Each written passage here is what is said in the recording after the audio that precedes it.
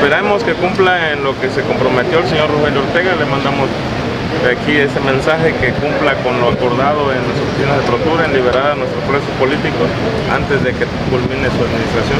¿Creen todavía tiene? Entonces terminan a las 3 de la tarde, ¿eh? Las actividades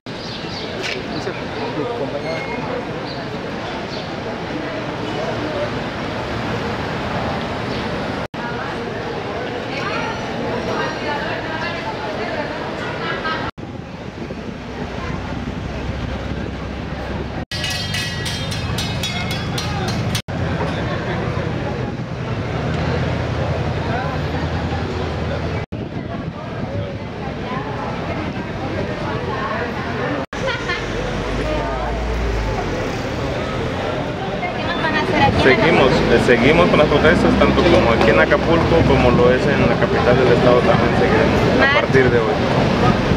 Quizás marchas o bloqueos o algunas mítines, ruedas de ¿Van a prensa.